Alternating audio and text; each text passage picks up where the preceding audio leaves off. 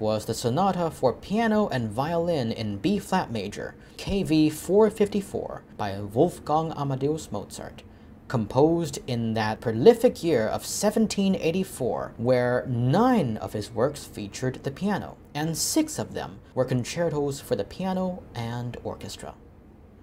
Hello, friends. Thank you for tuning in and joining us, and a warm welcome to you. This is David speaking. What stands out to me personally about this sonata is the quality of the instruments. Indeed, the sharing of musical ideas between the violin and the piano makes it sound symphonic, full of contrast and variety, and overall very exhilarating to play and to listen to. Now let us transition to 102 years later in 1886 and the sonata for violin and piano in A major FWV 8 by the then 64 year old César Franck. It was first written and presented as a wedding gift to the then 28 year old Belgian violinist Eugène. If the concluding moments, especially that on the piano, for the Mozart sonata sounded very tour de force and virtuosic to you, then you've got to hear what Franck is doing to the piano in the second movement of this sonata. With that, it's time for Franck.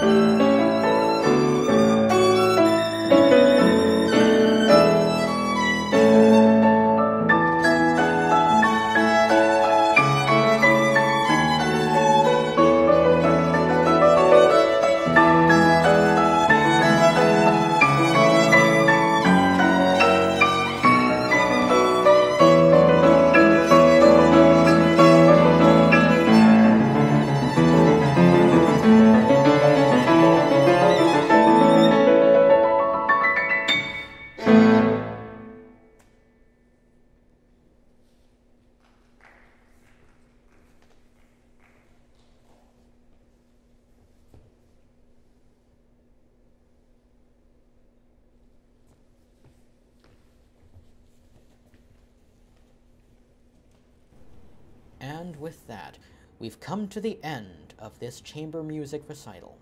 Thank you so much for listening. I would now like to take this moment to thank some very important people. First of all, of course, to Mr. Charles Morey. I have learned so much through playing with you, and I hope we can make music again in the near future. Also, I would like to thank Professor Chertock, Dr. Biron, and Mr. Joel Crawford for making this live stream possible.